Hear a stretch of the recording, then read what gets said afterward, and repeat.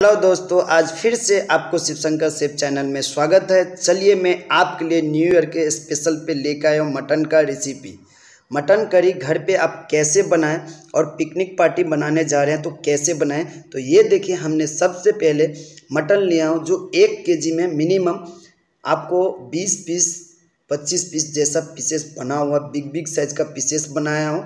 अब उसको हम बनाएँगे कैसे? ये देखिए, बहुत ही आसान रेसिपी सबसे पहले हमने एक एलमुनियम कढ़ाई लिया हूँ और उसको हम सबसे पहले गर्म कर लेंगे और इसमें पाँच के जी में मिनिमम हाफ़ एन लीटर मतलब आधा लीटर के जैसा आपको सरसों का तेल ऐड करना है। सरसों का तेल से आप घर पे जब भी मटन बनाएँगे तो बहुत ही स्वादिष्ट बनेगा, लेकिन प्रेशर कुकर में नहीं बनाना है।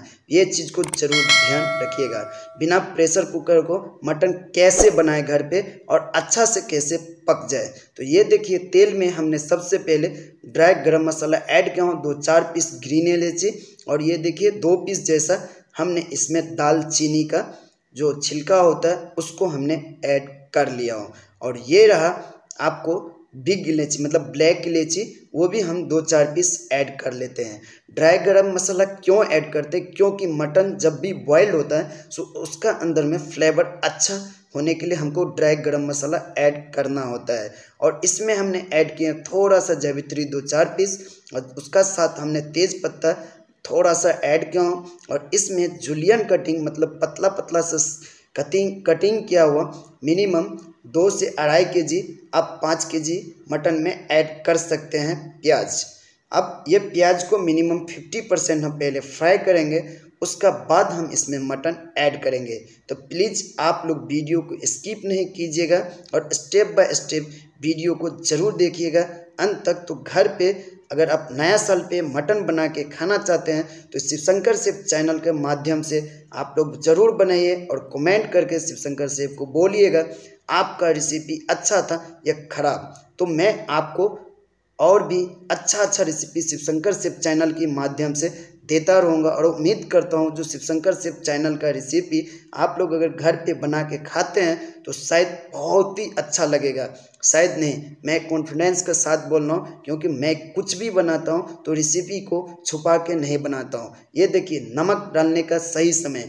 मतलब अब इसको हमको नमक क्यों डालना पड़ता है? क्योंकि मटन और उसका साथ हमने प्याज जो डाले, उसको एक साथ गलना चाहिए मतलब पक जाना चाहिए। आप सोचते होंगे, ये मटन कैसे गलेगा? क्योंकि हमने इसमें एक जायफल ग्रेट करके डाला हूँ। इसीलिए हमको प्रेशर कुकर का सहारा नहीं चाहिए। ये देखिए, अब फ्राइड हो चुका है। हम इसमें सबसे पहले Kashmiri chilli powder, minimum 25 gram, इसका साथ धनिया पाउडर 25 ग्राम, जीरा पाउडर 25 ग्राम, हल्दी पाउडर 25 ग्राम से कम मतलब 10 ग्राम 15 ग्राम का जैसा आप ले सकते हैं।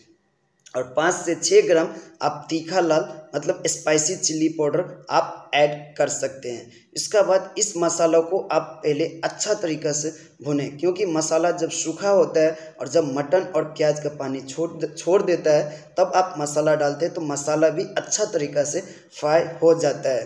हाँ एक चीज़ अभी भी ज़रूर ध्यान रखिएगा, क्योंकि हमने जिंजर गार्लिक पेस्ट अभी भी ऐड नहीं किया हूँ। इसलिए नहीं किया कि जब भी आप अगर कुकर में बनाते हैं तो कोई प्रॉब्लम नहीं, वो नहीं पकड़ेगा। आप कढ़ाई में जब भी बनाते हैं तो उसको जिंजर गार्लिक पेस्ट को बाद में हम इसलिए डालते हैं क्योंकि हमको उसको अच्छा तरीक़ा से भूजना होता है मतलब कसना होता है, हम लोग कसना बोलते हैं तो मतलब अच्छा तरीक़ा से उसको पकाना होता है। अब ये देखिए हमने इसमें ginger garlic paste minimum 200 gram का जैसा पाँच के जी में जिंजर गार्लिक पेस्ट मतलब 200 ग्राम का जैसा हमने ऐड किया हूँ और इसको हम अच्छा तरीक़ा से पहले पका लेता हूँ। उसका बाद इसमें क्या डालना है आपको सबसे पहले एक टोपिया में गर्म पानी कर लेना है बॉइल्ड ये देखिए, हमने गर्म पानी बॉइल्ड पानी हम ऐड कर रहे हूँ थोड़ा थोड़ा सा और उस मसाला और प्याज को हम अच्छा तरीके से गलने देते हैं। क्योंकि जब मसाला अच्छा तरीके से भुन जाएगा मतलब पक जाएगा तो मटन करी का टेस्ट जो है बहुत ही लाजवाब आपका घर पे सेंट और खुशबूदार जो भी गेस्ट आपका हाथ का एक बार ये रेसिपी मटन खाएगा तो प्लीज़ शिव शंकर शिव चैनल का वीडियो के बारे में ज़रूर बोलिएगा और शेयर करना नहीं भूलिएगा। उम्मीद करता हूँ जो शिव शंकर शेफ ने जो आपको आज मटन का रेसिपी दिया, ज़रूर अच्छा लगा होगा। प्लीज़ अगर अच्छा लगा तो जितने भी अनसब्सक्राइबर है प्लीज़ सब्सक्राइब कर लीजिए। आज के लिए थैंक यू